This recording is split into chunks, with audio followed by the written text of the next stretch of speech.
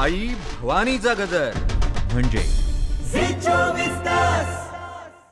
पाकिस्तान स्थित जैश ए मोहम्मद या दहशतवादी संघटनेनं भारताचे राष्ट्रीय सुरक्षा सल्लागार अजित डोवाल यांना लक्ष्य करण्याची आता योजना आखलेली आहे. जैशच्या जैशेच्या दहशतवाद्यांच्या चौकशीतून सरदार पटेल भवन त्याचबरोबर राजधानी दिल्लीतील अन्य महत्त्वाच्या ठिकाणांची टेहळणी झाल्याची माहिती देखील आता समोर आलेली आहे.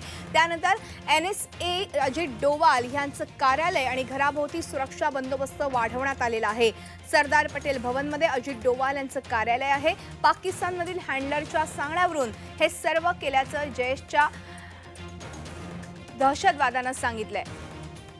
जैशेचा दहशतवादी हिदायत उल्लाह मलिक ह्याच्या चौकशीतून डोवाल यांच्या कार्यालय परिसराची व्हिडिओच्या माध्यमातून टेहळणी करण्यात आल्याची माहिती देखील समोर आली आहे. हिदायत उल उल्लाह मलिक शोपियानचा रहिवासी आहे आणि त्याला सहा फेब्रुवारीला अटक करण्यात आली होती.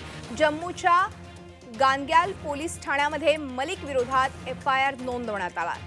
जैशेच्या लष्कर ए मुस्तफाचा तो प्रमुख आहे आणि त्याला अनंतनागमधून अटक करण्यात आली. होती त्याच्याकडून शस्त्रास्त्र आणि दारुगोळ्याचा मोठा साठा देखील सापडला होता.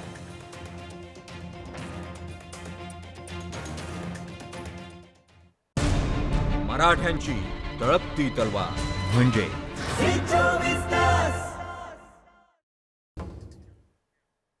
आणि आता बुलेटिनमधून घेणार आहोत महत्त्वाच्या बातम्यांचा सुपरफास्ट आढावा.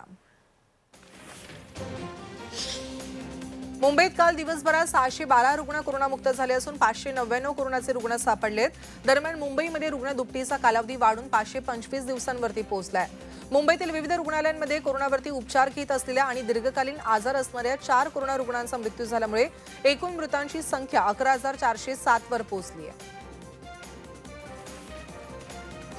भारताने आठ फेब्रुवारीपर्यंत तीनशे अडतीस कोटी रुपयांच्या कोरोना लसींची विविध देशांना निर्यात केली आहे. सरकारने ही माहिती राज्यसभेत दिली असून निर्यात केलेल्या कोरोना लसींमध्ये मित्र देशांना मदत स्वरूपात दिलेल्या लसींचाही समावेश आहे. देशात कोरोना लसींचा पुरेसा साठा ठेवून मगच बाकीच्या लसींची जानेवारीपासून निर्यात करण्यात येते दहावीचे विद्यार्थी यावर्षी अतिरिक्त गुणांना मुकणार अशी शक्यता आहे. चित्रकला परीक्षा क्रीडा स्पर्धा न झाल्यामुळे यंदा विद्यार्थ्यांना लाभ मिळणार नाही अशी शक्यता वर्तवली जाते.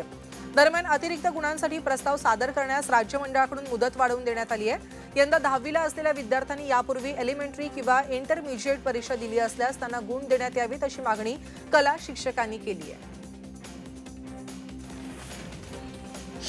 राज्यातील सर्व कृषी विद्यापीठांचे आणि त्यांच्याशी संलग्न महाविद्यालयांचे वर्ग सोमवारी म्हणजे पंधरा फेब्रुवारीपासून सुरू होत आहेत. विद्यापीठ अनुदान आयोगाच्या मार्गदर्शक सूचनांनुसार. विठू माऊलीचा गजर. म्हणजे